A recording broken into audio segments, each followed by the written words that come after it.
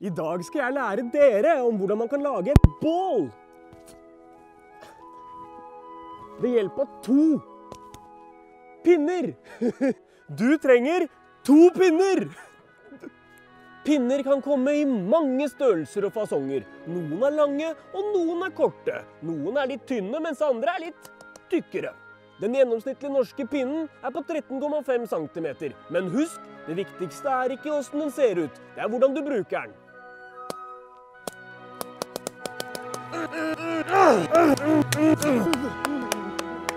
Når du har funnet to pinner som passer deg perfekt, så må du gni dem mot hverandre slik at de blir varme og etter hvert tar fyr.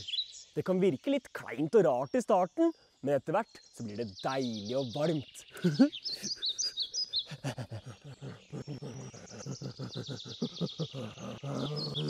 Helvete! Hvorfor kan dere ikke bare ta fyr? Dere responderer jo ikke engang! Åh!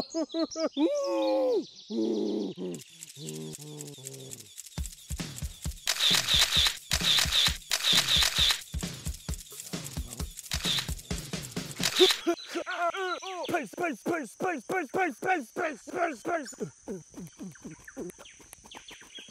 Jævla fitteball! Ah!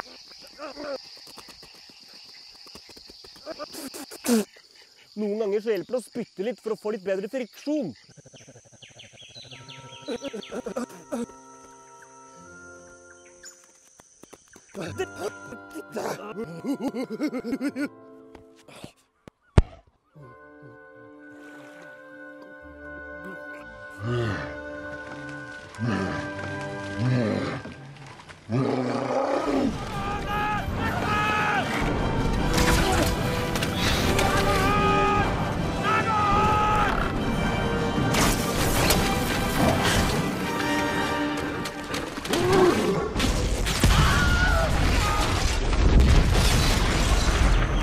너 손님 뭔 데?